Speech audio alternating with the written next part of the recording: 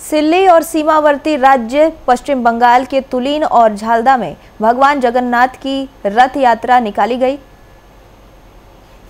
भगवान जगन्नाथ की रथ यात्रा को लेकर लोगों में ज़बरदस्त उत्साह देखा गया।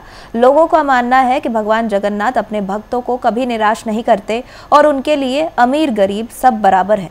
भक्तों के बीच यह मान्यता है कि रथ यात्रा में शामिल होने और भगवान का रथ खींचने से सभी पापों से मुक्ति मिलती है और मनोवांछित फलों की प्राप्ति होती है।